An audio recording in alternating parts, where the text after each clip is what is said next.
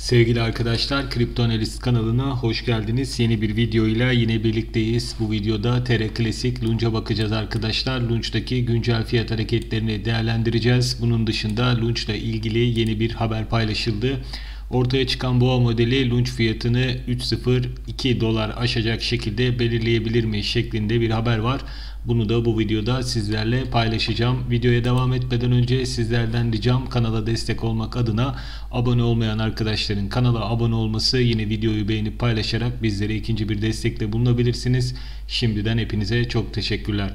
Evet TR Klasik Lunch arkadaşlar son 24 saatte %1.81'lik değer artışıyla an itibariyle 3.01672 ile işlem görüyor. Bitcoin'e göre %1.90, Ethereum'a göre ise %1.31'lik bir değer kazancı söz konusu. Gün içerisinde en düşük 3.01617 en yüksek ise 3.01816 değerlerini gördü. 24 saatlik hacim %109 artarak 286 milyon 203 bin 505 dolar olarak gerçekleşti.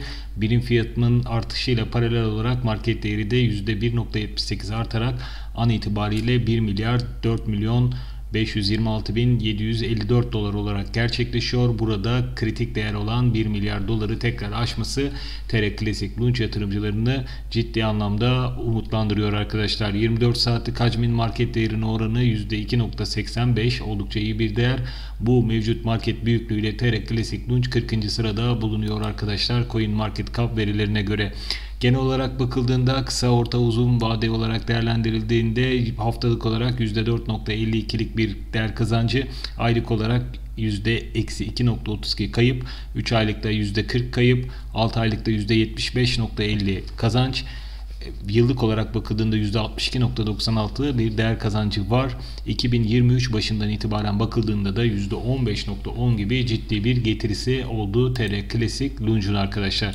Genel durum bu şekilde ve bununla ilgili bu son artışta hemen sonra yeni bir haber yayınlandı. Ortaya çıkan boğa modeli lunch fiyatını 3.020 dolara aşacak şekilde belirledi mi? Bunu lunch almaya değer mi şeklinde bir haber var. Buna bakalım. Kripto piyasasında son 2 ayın yatay eğiliminin ortasında lunch fiyatı 3.01850 yatay direncinin altında işlem görüyor deniyor. Bu konsept konsolidasyon sırasında fiyat bu dirençten birkaç kez geri döndü. Bu da satıcıların bu seviyeyi agresif bir şekilde savunduğunu gösteriyor diyor. Bununla birlikte piyasa duyarlılığındaki son iyileşme ile token fiyatı şu anda devam eden toparlanmayı destekleyen yeni bir yükselen trend çizgisini takip ediyor sabit direnç ve bir destek trend çizgisi yükselen üçgen formasyonunu ortaya koymaktadır şeklinde haber devam etmiş.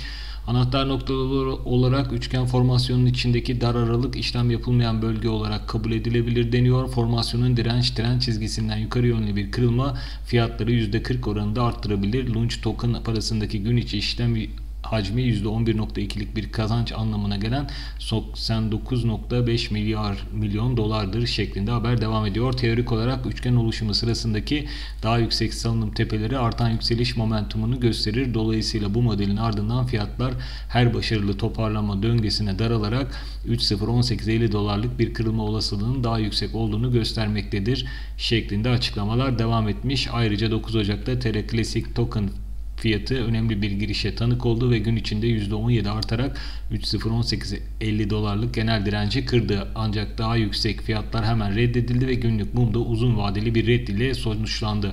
Bu yüksek fitil reddi genel satış baskısının devam ettiğini ve lunch fiyatının gerçek kırılmadan önce birkaç işlem seansı için konsolide olması muhtemel olduğunu gösteriyor. Bu token fiyatı şu anda %3 buçuk gün içi kayıpla 3.016.40 dolardan işlem görüyor. Bu nedenle 3.018.50 dolardan potansiyel bir kırılma satın alma eğilmesini arttıracak. Fiyatları %40 arttırarak 3.028.50 dolara kadar çıkarabilecek. Alternatif olarak destek trend çizgisinden daha az olması ancak olası bir kırılma yükseliş tezini baltalayacak ve lünt fiyatını düşürecektir deniyor. Teknik göstergeler göreceli güç endeksi günlük RSI eğilimindeki istikrarlı bir yükseliş trendi piyasa katılımcıları arasında altta yatan yükseliş momentumundaki büyümeyi ve iyileşme hissini yansıtıyor deniyor. EMA'lar son fiyat artışı ile birlikte lunch fiyatı 20 ve 50 günlük EMA'nın iki dinamik direnci eğilimini aştı. Bu geri alınan EMA'lar geçerli bir desteğe dönüşmeli ve alıcılara 3.018.50'lik bir kırılma için yardımcı olmalıdır deniyor. Lunch fiyat içi gün içi seviyelerine bakıldığında spot ücret 3.016.40 ABD doları, doları eğilim ayı volatilite orta direnç seviyesi 3.018.50 3.020 destek seviyesi 3.015 ABD doları ve 3.012.50 ABD doları şeklinde haber tamamlanmış arkadaşlar. Genel olarak launch için yapılan değerlendirmeler bu şekilde pozitif yönlü olduğunu düşünebiliriz. Bu videoda verdiğimiz bilgiler arkadaşlar kesinlikle yatırım tavsiyesi değildir uyarısıyla videoyu sonlandırıyorum. Hepinize bol kazançlar. Umarım bu video TR Klasik Launch'ta yatırımı olan veya yatırım yapmayı düşünen arkadaşların değerlendirmelerinde işlerine yarar. Bir sonraki videoda görüşünceye kadar kendinize iyi bakın. Kanala abone olup videoyu beğenip paylaşmayı lütfen unutmayın. Hoşçakalın sevgili arkadaşlar.